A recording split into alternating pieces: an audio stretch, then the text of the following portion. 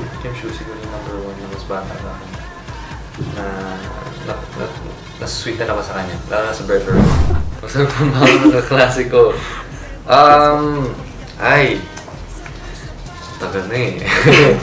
Hindi ko na maalala, pero I'm assuming kung nasa school pa rin ako ngayon, mas masarap pag libre, di ba? So, yes. Yes, nasagot ko yan. Mahilig ako sa time. Well, walang specific, ano eh, yung isang type lang talaga. Mahilig ako sa music kasi different genres talaga. So, depende sa mood ko.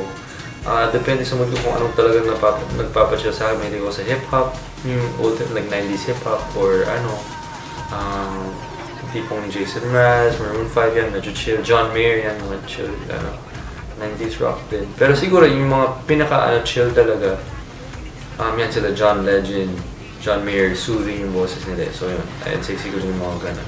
Yung una, Yes po. hmm, mahilig ako sa roller coaster. I'm assuming yung best roller coaster ng theme park. Ah, maroon and gray. Maroon and gray yung colors ng high school namin.